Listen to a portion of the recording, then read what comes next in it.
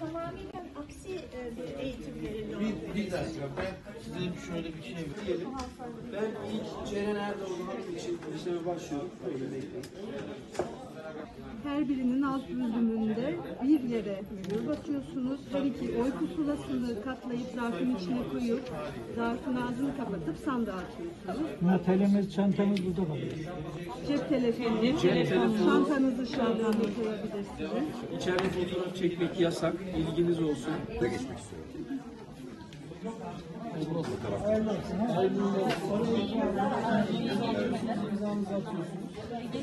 Vatandaşlık görevimi yerine getirdiğimi düşünüyorum ve mutluyum.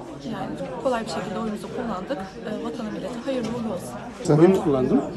E, vatana millete hayırlı olsun diyorum ben. E, bu kadar yani. Bu vatandaşlık görevi. Herkes duyarlı olsun. Oyunu kullansın.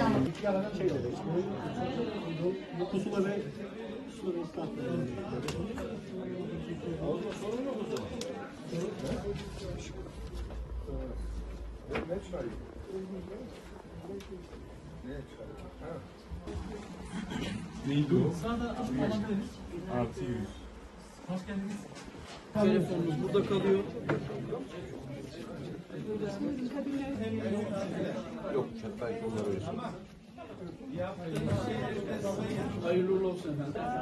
Onları aldım. Burada yakın kullandım abi.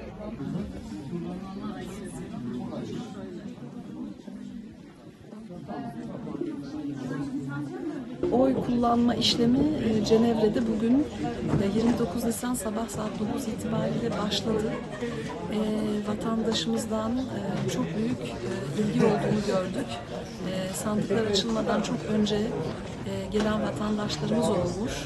E, biz de inşallah e, oy verme işlemi e, sorunsuz e, gitmesi için bütün tedbirleri almıştık.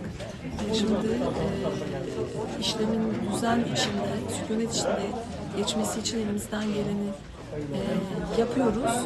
E, vatandaşlarımızı bekliyoruz. 7 Mayıs'a kadar e, sandıklar açık olacak. 7 Mayıs'a kadar sabah saat 9, akşam saat 9 e, açık olacağız. Vatandaşlarımızın e, yurt dışı seçmen kütüğüne kayıtlı olduklarını kontrol ettikten sonra Yüksek Seçim Kurulu internet sitesinden e, kimliklerini e, de alarak e, oy kullanmaya gelmelerini bekliyoruz. E, inşallah e, seçimler e, vatanımıza, milletimize hayırlı olsun.